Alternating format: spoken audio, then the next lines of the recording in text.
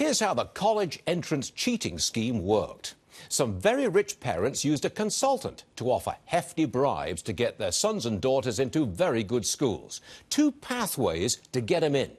One, use big money to fix SAT scores and entrance exams. Two, bribe college coaches to admit unqualified students as athletes. There you have it. Sure leaves a bad taste in your mouth, doesn't it? The parents are rich and famous, the very people, the elites, who tell us how to live, how we are all deplorables.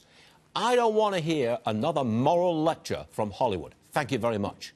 I haven't asked, but I'm pretty sure those parents hate Trump.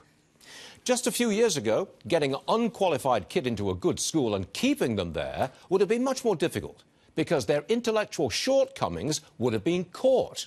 That was back in the day when tests and grades were much tougher. Today, Harvard's Alan Dershowitz says many schools have abolished failing grades. Many have dropped grades altogether. So once you've bribed your way in, you're in to stay. Another failure of the modern American university. This scandal has a long way to go. If you're very rich and you fund a new college building and your child gets in, is that okay? If your youngster studied, tried hard, got the grades, but didn't get in, what do you do? Class action lawsuit, anyone? And even though these co elite colleges didn't know what was going on, do they face any liability? These are legal questions for the future. What we're dealing with now is national outrage.